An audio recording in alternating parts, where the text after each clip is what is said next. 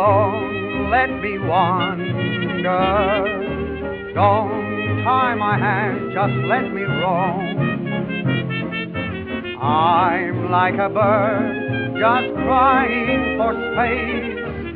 Give me a brook and some sweet meadow place. We're going to West Texas to paint pictures. Can we stop in Abilene? No. Please? Okay. Let me wander the countryside upon the plain. Gone is my craving for the arches. Give me the field and sun on high. Hello, welcome to the Grace. I'm Laura Moore, and I serve as Executive Director of the Grace Museum. First and foremost, I want to say thank you so much for your wonderful support. We're very thankful for CASETA for your support of our exhibitions and program. We're so glad that you're visiting us here today, and we're excited to take you up to collections in just a moment, and Judy Deaton is waiting there. But I want to first tell you a little bit about what you're seeing. You'll note this great lobby. This building was built in 1909. It served as a hotel until into the late 70s, and then it fell in total disrepair and sat empty for many, many years, to the point that you could actually see the sky from the ground floor. When this was refurbished, renovated in the 80s, they identified the original colors, and you'll see those are celebrated again today. The Fine Arts Museum began in 1937 at a different location. So when this place was refurbished, they joined forces and the muse museum moved here and now we are the Grace Museum.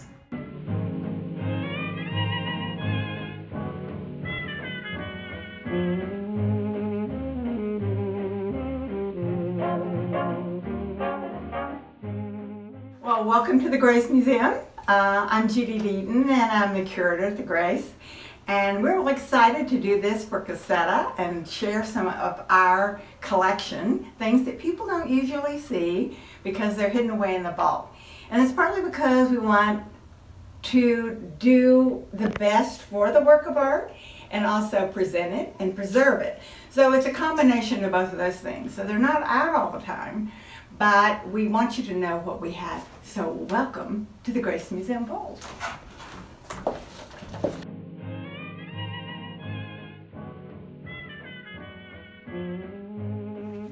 2007, when I came to work at the Grace Museum, I was given the task of researching the collection and documenting it. And it was it had been collected since 1939. And not a lot of research had been done. There was the beginning of it, but putting it all together was a task that uh, took quite some time to accomplish. And we're in wonderful shape now. We have wonderful staff. Um, and we have everything documented. And I thought it would be interesting today. We can take a, a walk around and you can see um, how we store things and what we have here. But I thought we'd focus on two particular paintings that early Texas art collectors were really interested in. And I'll tell you a little bit about how they came to the museum and how they inspired a 1989 exhibition called Texas Painters. I would like to say that in the 80 years since things have been collected, art has been collected by the old Abilene Fine Arts Museum and now the Grace Museum, it really became apparent to me while I was working on it doing the research that Texas art was always the focus of what they wanted to um, to do here and what they wanted to exhibit here and what they wanted to collect. So when we decided uh, our mission is also to be uh, the exhibition and collection of American art with Texas connections, that's contemporary as well as historic, it seemed to be the perfect fit to bring our collection in line with our exhibitions. So the first thing that we're going to talk about, the first painting, is a painting by Charles Taylor Bowling.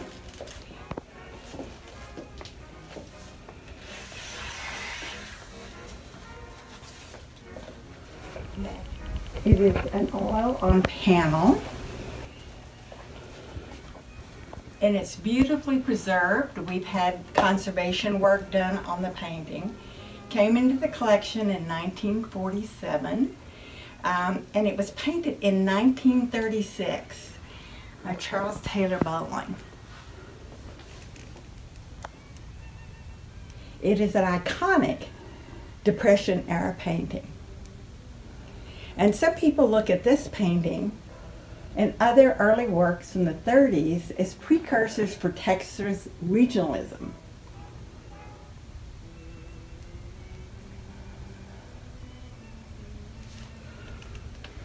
Painted in 1936, so think about the Great Depression.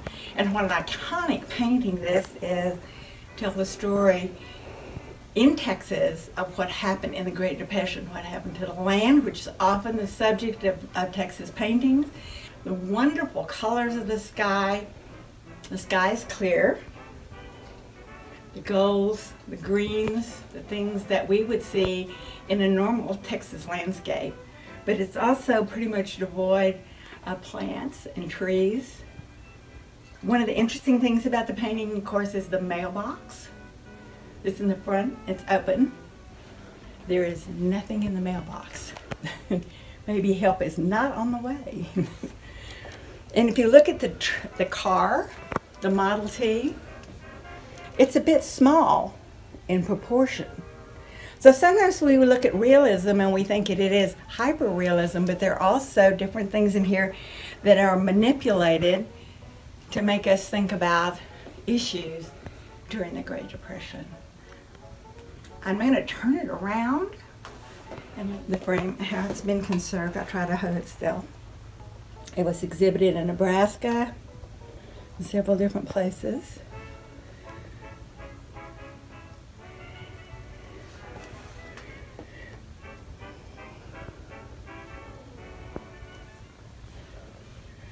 But you can definitely see how it's been conserved and cleaned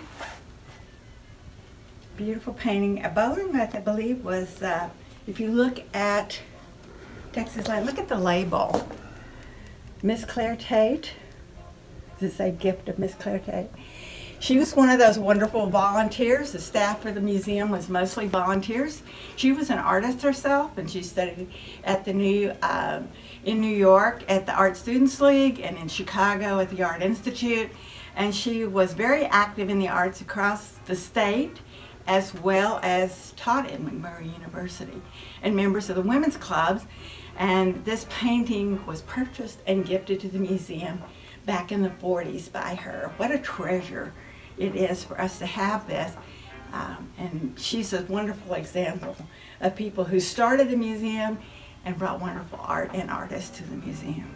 I believe he actually came to the museum and taught several artists that we have in the collection from early Texas, came to Abilene and taught the Creative Sketch Club, which is an early sponsor for the museum, and brought artists here and gave them solo shows back in the day.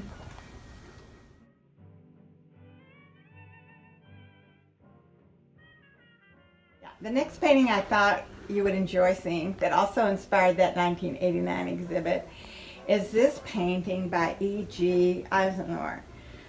Country Church of Palo Pinto, oil on canvas, about 1945, and it was a museum purchase.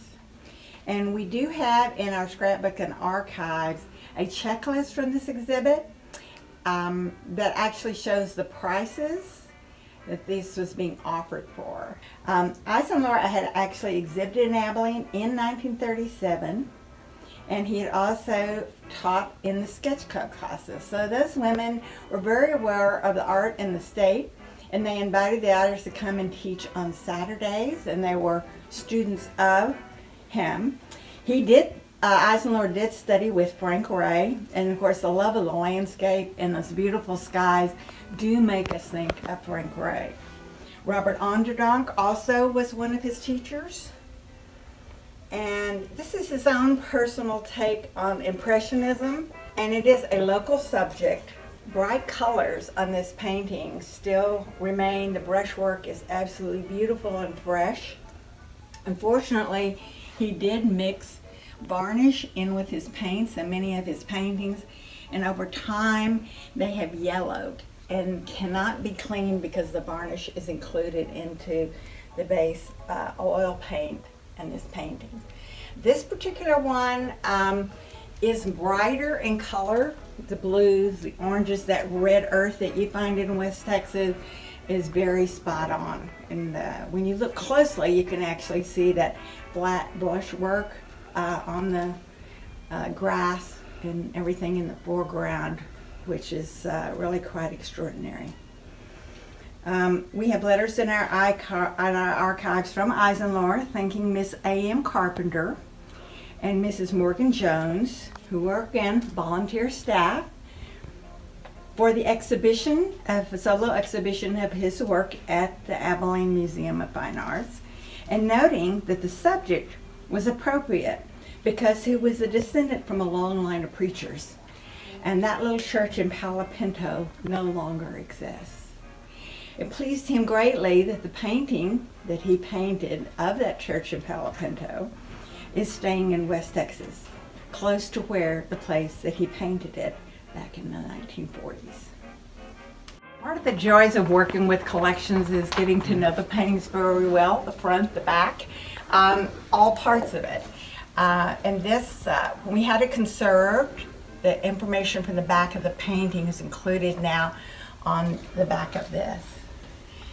So you can see the labels and uh, you can see an excerpt from his original exhibition here. There's a short bio about him. Uh, if you look close to the edges, you can see the canvas actually coming over the edges, given room to breathe. Uh, really, once again, it's a wonderful project to be able to conserve the painting and take care of it. Uh, we've exhibited it several times. It always gets rave reviews. In fact, uh, Michael Guerra once said he thought it was one of the best Eisenlohrs that he'd seen in a very long time. So we were very pleased to have that confirmation that it really is a treasure in our collection. Um, the exhibition that I mentioned earlier, uh, we, I'll show you a close-up of this. Texas Painters of Texas, 1989 the Abilene Fine Arts Museum. 1989 was a year, when you think about it, when we really started to get interested in early Texas art.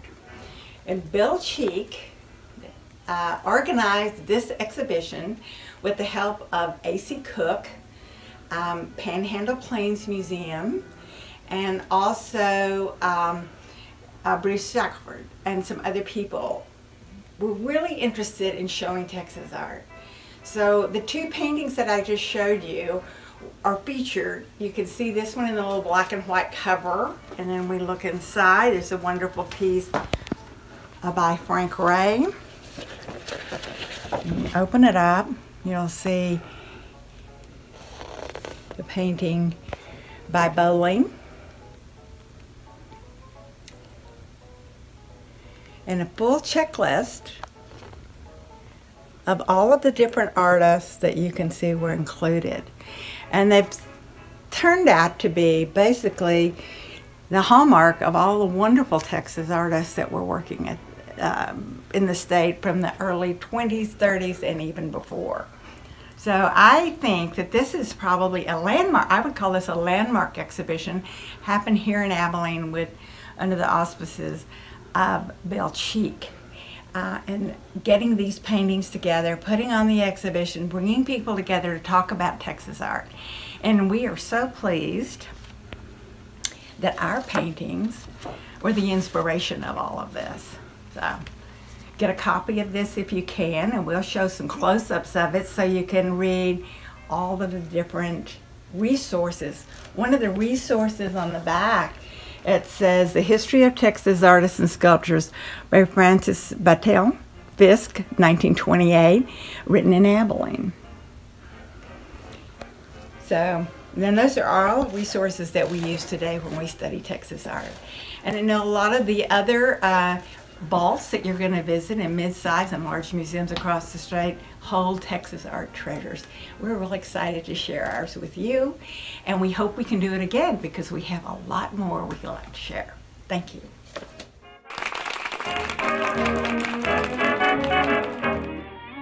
Leave me alone, let me wander. Don't tie my hand, just let me roam. Mm-hmm.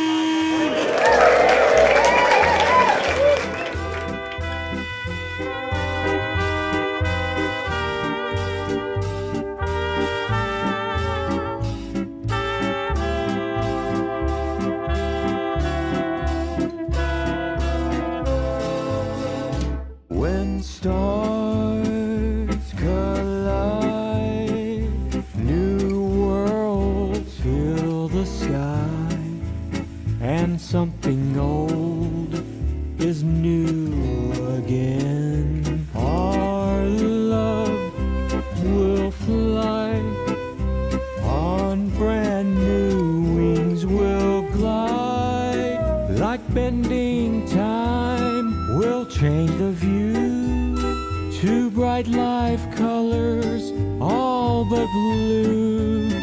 We'll hang new stars as something old is new.